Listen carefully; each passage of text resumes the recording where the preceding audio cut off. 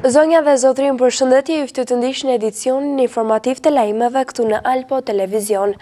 Kreu i Partisë Demokratike në Sarandë, Haris Mema është dhunuar me mjete të forta nga dy persona. I menjëhershëm ka qenë reagimi i Partisë Demokratike e cila ka dënuar këtë sulm dhe kërkon nga autoritetet që përgjegjësit duhet të japin pra llogari. Kreu i Partisë Demokratike në Sarandë, Haris Mema është dhunuar me mjete të forta nga dy persona. Ngjarja ka ndodhur mbrëmjen e së premtes kur Mema ishte me vajzën e tij në bulevard.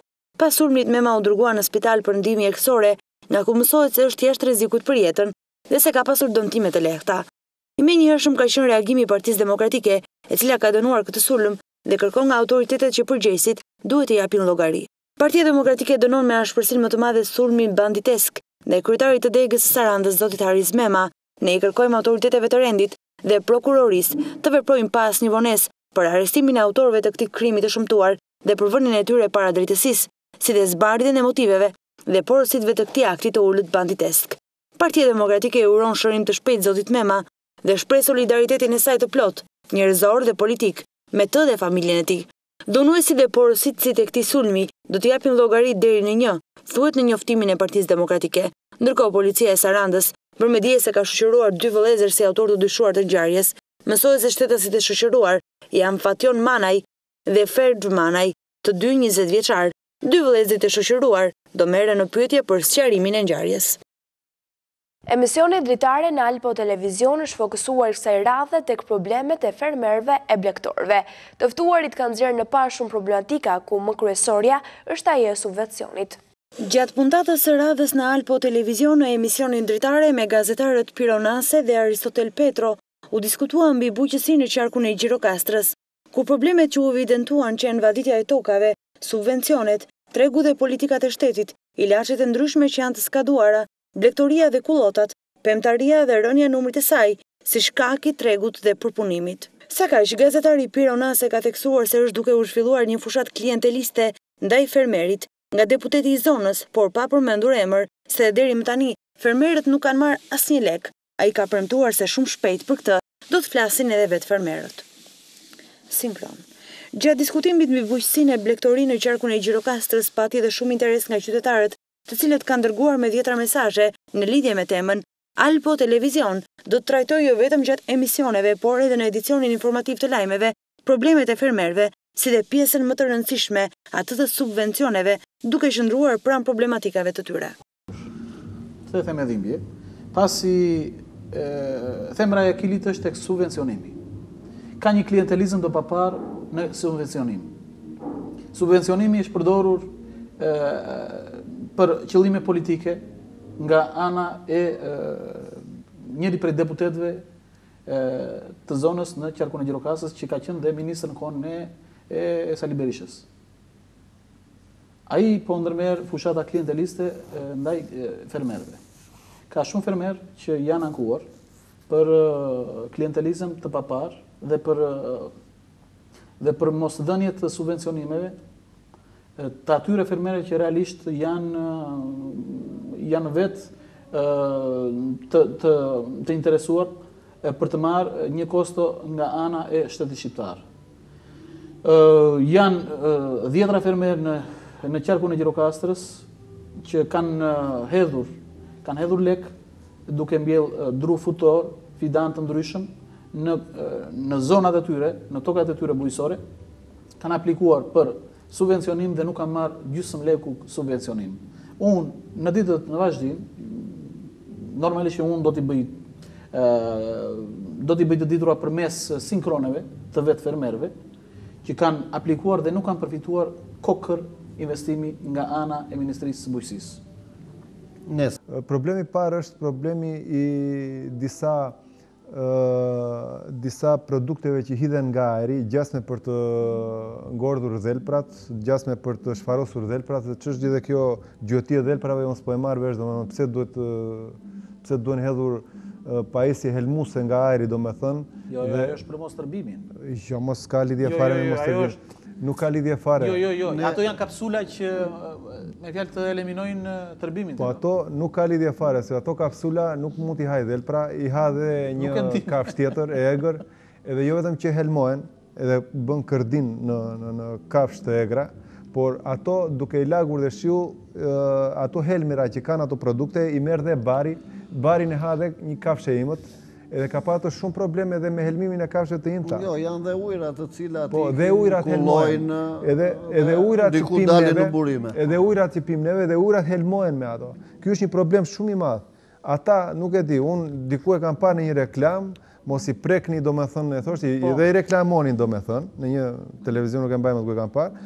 Edhe edhe mos i prekni me dorë qysh tek, ndërkohë që ato janë helme, s'mund të hidhen ato në ajër për të S'mund të vaksinojnë ato tërbimin. Si mund të vaksinohet tërbimi domethënë i kafshës së egër? Kreu i qeverisë Edi Rama deklaroi sot se shumë shpejt do të nisë shpërndarja e titujve të pronësisë mbi tokën bujqësore. Pas legalizimeve falas të banesave qeveria shqiptare do t'i ofrojë një lehtësi të tillë edhe fermerëve.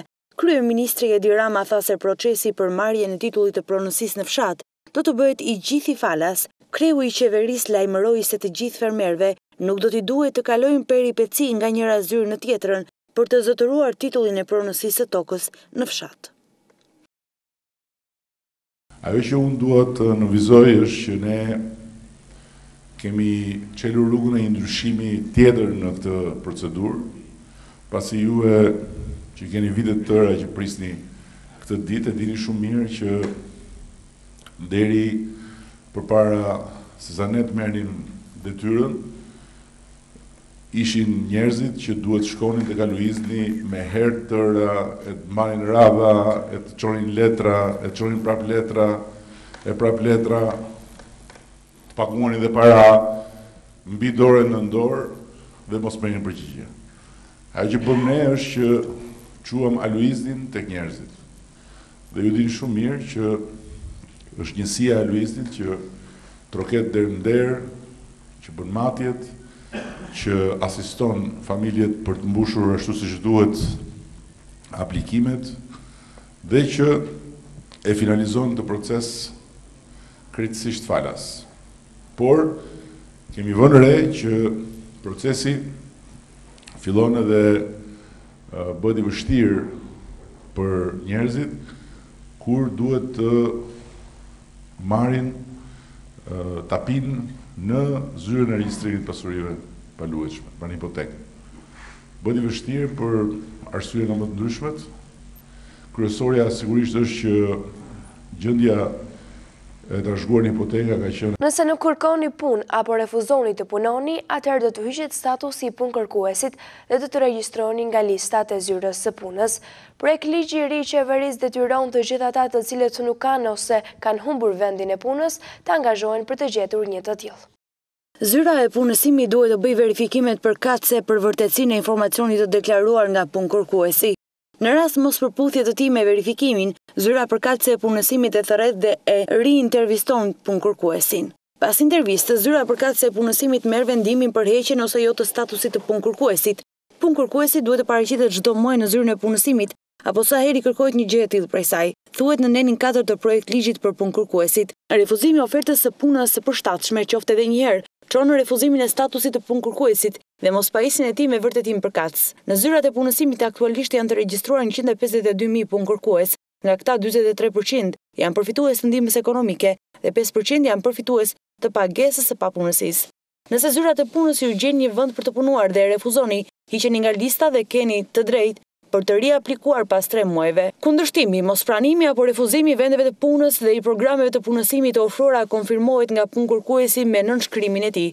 Në rast se punëkërkuesi refuzon nënshkrimin, specialisti i shërbimeve të punësimit vendos shënimin, Punëkërkuesi refuzon të nënshkruajë. E drejta për riaplikim për statusin e punëkërkuesit të gjithë personave që nënshkruajnë ose refuzojnë nënshkrimin e deklaratës për refuzimin, mospranimin e vendit të lirë të punës, u lind pas një periudhe kohore tremujore, thuhet në projektligjin e ri. Të gjithë punëkërkuesit do të ndahen në tre kategori, punëkërkues që përfitojnë ndihmë ekonomike, ata janë personat për të cilët është miratuar kërkesa e tyre për përfitimin e ndihmës ekonomike, ata janë të detyruar të paraqiten në zyrën e punësimit çdo muaj për të kërkuar punë apo sa herë që u kërkohet një gjë e tillë. Në rast mosparaqitje dhe në rast refuzimi të një punësimi të përshtatshëm apo kualifikimi profesional, Ata hiqen nga lista e punëkërkuesve. Me anë të këtij projektligji, do të arrihet të identifikohen dhe të ndahen grupe të punëkërkuesve të cilët janë vërtet të interesuar për t'u punësuar dhe ata që u intereson regjistrimi thjesht për të përfituar nga skema të ndryshme siç është ndihma ekonomike apo dhe karta e shëndetit, thuhet në relacionin e qeverisë. Për vitin dy mijë e gjashtëmbëdhjetë jo vetëm nuk parashikohet rritje pagash për punonjësit e administratës publike, por vërehet edhe një rënie e dukshme e shpenzimeve për këtë zë. Ndërkohë që edhe buxheti për Policinë e Shtetit është ulur. Buxheti për Policinë e Shtetit në vitin dy mijë e gjashtëmbëdhjetë do të jetë rreth tre milionë dollarë më i ulët se dy mijë e pesëmbëdhjeta, ndërkohë që të njëjtin fat do të pësojë edhe buxheti në dispozicion të Gardës së Republikës. Krahasuar me vitin dy mijë e pesëmbëdhjetë, buxheti për Policinë e Shtetit do të jetë rreth dy për qind më i ulët në vitin e ardhshëm. Nga katërmbëdhjetë pikë shtatë miliardë lekë që ishte këtë vit, fondi buxhetor për Forcat e Rendit do të ulet në katërmbëdhjetë pikë katër miliardë lekë, ndërkohë që fondi për Gardën e Republikës nga një mijë e dyqind e tetëdhjetë e tetë milionë lekë në dy mijë e pesëmbëdhjetë do të ulet me një mijë e dyqind e shtatëdhjetë e një milionë lekë vitin e ardhshëm, rënie e dukshme e shënuar në Fondin për Emergjenca Civile, i cili nga afërsisht shtatë milionë dollarë vitin dy mijë e pesëmbëdhjetë, do të ulet me afërsisht një pikë dy milionë dollarë vitin e ardhshëm, sipas projektbuxhetit të vitit dy mijë e gjashtëmbëdhjetë, të sapo depozituar për diskutimin në Kuvend nga Ministria e Financave. Fondi për Ministrinë e Brendshme në total shënon një rritje prej afërsisht katër milionë dollarësh, nga nëntëmbëdhjetë pikë katër miliardë lekë në vitin dy mijë e pesëmbëdhjetë, Buxheti i Ministrisë së Brendshme do të rritet me nëntëmbëdhjetë pikë nëntë miliardë për vitin e ardhshëm.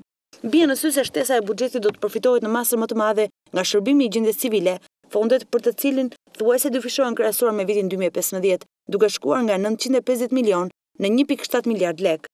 Fondi i Shërbimit Informativ Shtetëror shënon një rritje të vogël prej njëqind mijë dollarësh për vitin e ardhshëm, për të shkuar në një pikë dyzet e katër miliardë lekë, nga një pikë dyzet e tre miliardë lekë vitin e shkuar, ndërkohë që rritje më domethënëse vërehet në buxhetin e Prokurorisë, buxheti i së cilës rritet me afërsisht dy milionë dollarë për vitin e ardhshëm, nga një pikë gjashtëdhjetë e tetë miliardë lekë, në një pikë tetëdhjetë e pesë miliardë lekë në vitin dy mijë e gjashtëmbëdhjetë.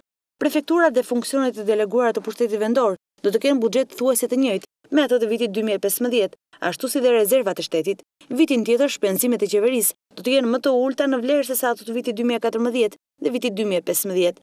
Nëse shprehen si raport ndaj prodhimit kombëtar, shpenzimet e qeverisë vitin e ardhshëm do të jenë dy pikë dy përqind më të ulëta se sivjet.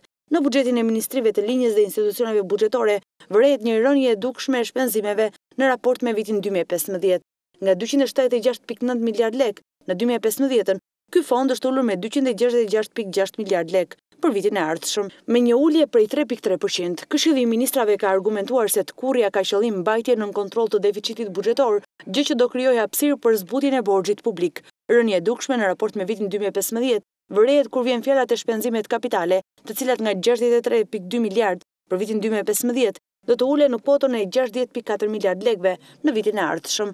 Ulje do të shënojnë dhe fondet rezervë, të cilët përdoren nga qeveria për shpenzime të paparashikuara gjatë çdo viti buxhetor. Fondi i kontigjencës do të ulet me tre pikë katër miliardë lekë në vitin dy mijë e pesëmbëdhjetë, në dy miliardë lekë për vitin e ardhshëm. Për vitin dy mijë e gjashtëmbëdhjetë, jo vetëm që nuk do të parashikohet rritje pagash për punonjësit e administratës publike, por vërehet edhe një rënie e dukshme. Qeveria ka vendosur të ndryshojë taksat që do të paguhen për banesat si dhe për shitblerjen e pronësisë. Në projektligjin e Qeverisë parashikohet që ndërtesat të kategorizohen në të ndërtuara para vitit një mijë e nëntëqind e nëntëdhjetë e tre dhe ato të ndërtuara gjatë vitit një mijë e nëntëqind e nëntëdhjetë e tre dhe pas tij. Qeveria ka vendosur të ndryshojë taksat që do të paguhen për banesat si dhe për shitblerjen e pronësisë. Një tjetër ndryshim është dhe taksa për trojet, Taksë që do të paguajë si pronari ashtu dhe përdoruesi i pronës. Në ndryshimin për taksën vendore, bashkitë janë ndarë në tre kategori përsa i përket taksës për banesat, ndërsa për trojet do të kemi katër kategori. Në projektligjin e qeverisë për taksat vendore, parashikohet që ndërtesat të kategorizohen në të ndërtuara para vitit nëntëdhjetë e tre dhe ato të ndërtuara gjatë vitit nëntëdhjetë e tre dhe pas tij. Në Tiranë dhe Durrës, për ndërtesat para vitit nëntëdhjetë e tre, do të paguhet pesëmbëdhjetë lekë për metër katror, ndërsa për banesat e ndërtuara pas këtij viti, një tarifë prej tridhjetë lekësh metri katror. Përsa i përket bashkive të nivelit të dytë, taksa do të jetë dhjetë lekë për metër katror dhe dymbëdhjetë lekë për metër katror, ndërsa për bashkitë e nivelit të tretë do të paguhet me pesë lekë metri katror dhe gjashtë lekë metri katror. Por një tarifë më të lartë do të ketë për objektet që shërbejnë për biznes dhe shërbime ku në Durrës e Tiranë do të paguhet me katërqind lekë metri katror dhe për kategoritë e nivelit të dytë do të paguhet treqind lekë metri katror. Sa i përket bashkive të nivelit të tretë, vlera do të jetë njëqind lekë metri katror. Ndryshim ka pësuar dhe tarifa e kalimit të pronësisë, ku në kryeqytet do të jetë një mijë lekë metri katror, ndërsa për objektet që shërbejnë për bizneset taksa për kalimin e pronësisë do të jetë me dy mijë lekë metri katror. Ndryshe nga ndërtesat, trojet do të ndahen në katër kategori, ndërsa taksa do të llogaritet për hektar. Në kategorinë e parë janë përfshirë Tirana, Durrësi, Kavaja, Kruja, Lushnja, Fieri, Lezha, Vlora dhe Saranda. Taksa e truallit për to do të jetë pesë mijë e gjashtëqind lekë për hektar. Ndërsa në kategorinë e dytë janë Shkodra, Elbasani, Korça, Berati dhe Peqini. Për këtë kategori pagesa do të jetë katër mijë e dyqind lekë për hektar. Në kategorinë e tretë janë bashkitë Gjirokastër, Pogradec, Përmet, Librazhd, Dibër, Mallakastër, Skrapar, Devoll, Tepelenë. Taksa për kategorinë e tretë do të jetë dy mijë e tetëqind lekë për hektar. Në kategorinë e katërt janë bashkitë e tjera ku do të paguhet taksë një mijë e katërqind lekë për hektar. Tregu i lojrave elektronike ka mbetur i njëjtë, ndërsa i basteve sportive është rritur tre herë më shumë. Kjo tregon se aksioni paraprak i kohëve Fund marrëzisë nuk vlejti për asgjë. E mbani mend operacionin Marrëzia? Ishte katërmbëdhjetë tetor dy mijë e trembëdhjetë dhe në pak orë qindra policë u hodhën në sulmin e kazinove elektronike dhe pikave të basteve pa licencë. Më në fund qeveria dukej e vendosur të shtrëngonte shumëfishimin e lokaleve në të cilat digjen kursimet e shumë familjeve shqiptare. Për të dekurajuar lojërat elektronike dhe bastet u hodh edhe propozimi për të transferuar në periferi të gjitha ato pak lokale lojrash elektronike dhe bastesh që pas procesit të legalizimit do të mbijetonin Pas pastrimit nga xhungla e informalitetit, Po si është situata sot, dy vjet pas aksionit? Tregu i lojërave elektronike ka mbetur i njëjtë, ndërsa ai i basteve sportive është rritur tre herë më shumë. Çudia është se numri i shoqërive që veprojnë në këtë treg është ulur, duke kaluar nga pesëdhjetë e gjashtë shoqëri në dy mijë e trembëdhjetë në njëzet e gjashtë aktive sot. Por numri i lokaleve është rritur në mënyrë mbresëlënëse. Nëse në dy mijë e trembëdhjetë lokalet ku mund të hidheshin baste ishin një mijë e dyqind e shtatëdhjetë e një, sot janë hapur tre mijë e katërqind e gjashtëdhjetë e katër, pra tre herë më shumë, të gjithë të kontrolluar vetëm nga pesë shoqëri. Shikues të nderuar, ka qenë gjithçka e përgatitur për këtë edicion informativ. Bashkë mirupafshim.